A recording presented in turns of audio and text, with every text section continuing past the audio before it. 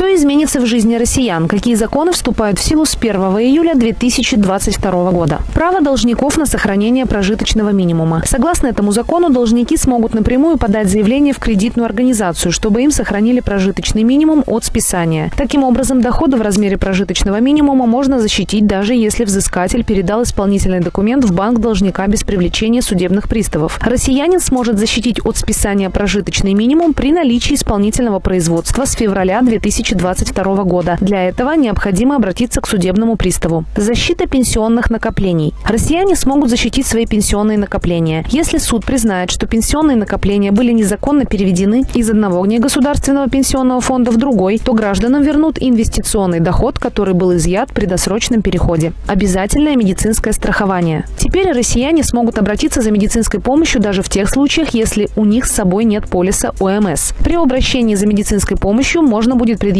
либо полис ОМС, либо документ, удостоверяющий личность. Сокращение срока оформления паспорта. С 1 июля текущего года изменится срок оформления паспорта. Теперь с момента приема документов от гражданина органам МВД или МФЦ срок оформления паспорта не должен превышать 5 рабочих дней. Упрощение регистрации по месту жительства. С 1 июля граждане смогут встать на учет по месту пребывания или жительства в любом регистрационном органе в пределах муниципального района. С 3 июля вступит в силу закон, который обяжет кредитные организации указывать полную стоимость потребительского кредита или займа. Так, в процентах годовых должна будет указываться стоимость с точностью до третьего знака после запятой. Помимо этого, при составлении договора по вкладам банки будут указывать минимальную гарантированную ставку на первой странице договора. Кроме того, с 1 июля вступит в силу ряд положений закона о биологической безопасности. Теперь организации должны будут уведомлять профильный орган власти о реализуемых научных исследованиях в этой области. Также изменения коснутся экскурсоводов и гидов. Теперь с июля 2022 года экскурсоводами и гидами-переводчиками на туристических маршрутах смогут быть только граждане России, которые пройдут аттестацию. За нарушение требований им будет грозить административная ответственность. При этом требование о гражданстве Российской Федерации не распространяется на инструкторов-проводников. То, что касается сельскохозяйственного налога, то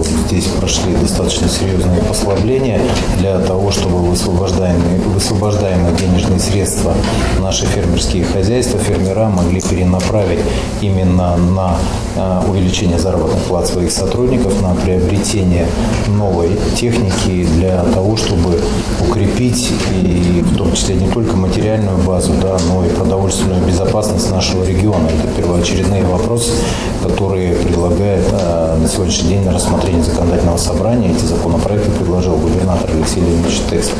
То, что касается телекоммуникационных сетей, то же самое были э, сняты э, налоги.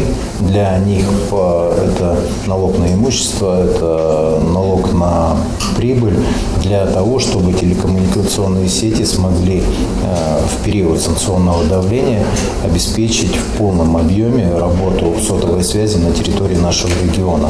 Ну и также мы дали поручение э, министру информационных технологий для того, чтобы подготовили дорожную карту развития сотовой связи на территории нашего региона. У нас, к сожалению, есть еще населенные пункты, где не везде есть сотовая связь. И это, конечно же, недопустимо. Мы должны контролировать работу сотовых операторов, чтобы они свои инвестиции вкладывали в развитие сотовой связи. Ну и это касается непосредственно направления а, федеральной трассы, чтобы везде было покрытие сотовой связи. То же самое касается региональных и а, муниципальных дорог, потому что сотовая связь без нее на сегодняшний день никуда. Поэтому были приняты такие меры поддержки для операторов сотовой связи, и я уверен, что высвобождаемые средства будут вкладываться, опять же, для благополучия жителей Челябинской области. Рабочая мониторинговая группа избирательной комиссии Челябинской области встретилась с главой Верхнеуральского района Сергеем Айбулатовым. На встрече был проведен анализ выборов 2021 года. Виталий Шиков прокомментировал готовность территориальной и участковых комиссий к избирательным кампаниям текущего года. 29 июня председатель собрания депутатов муниципалитета Виталий Фомин провел встречу с активом депутатского корпуса в Кирсинском поселении, где обсудили текущие вопросы территории. А 30 июня районные депутаты Виталий Фомин и Евгений Фомин провели прием граждан в Красненском. Об этом мы расскажем в ближайших сюжетах ВТВ.